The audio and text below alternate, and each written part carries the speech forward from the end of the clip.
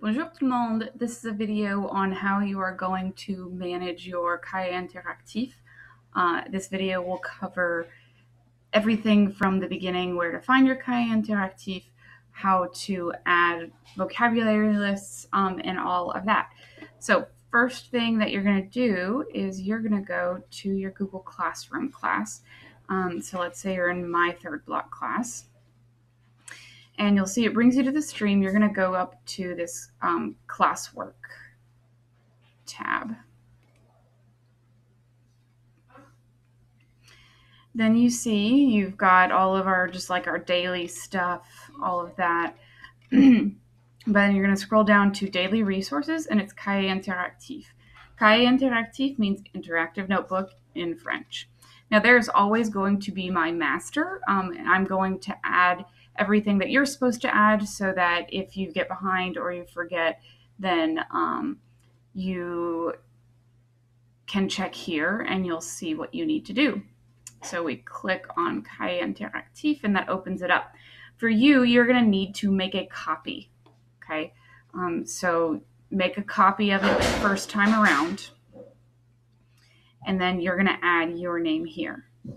Okay, so after you make a copy, which you do by clicking File, make a copy, and you want to do entire presentation.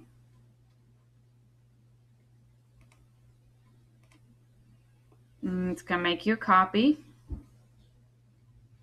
And then you're going to rename it.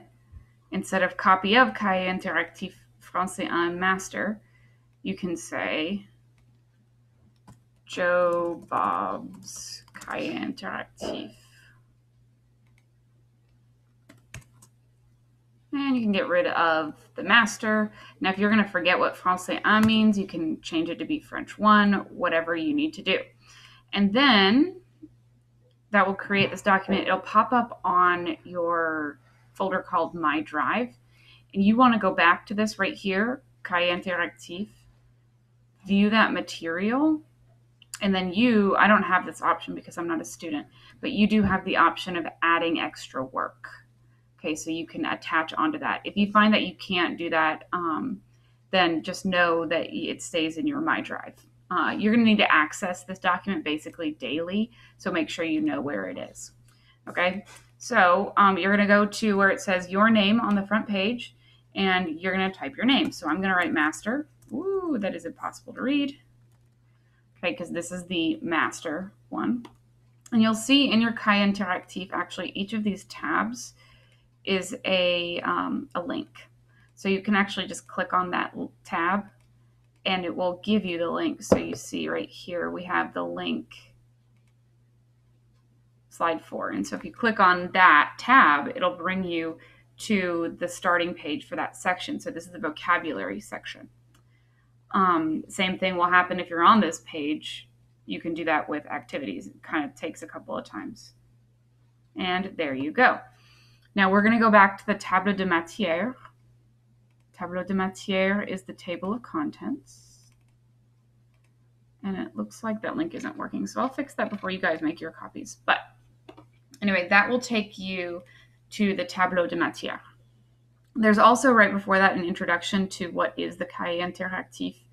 Um, you want to keep an up to date version of this, and then you want to do an up to date version of the Tableau de Matière.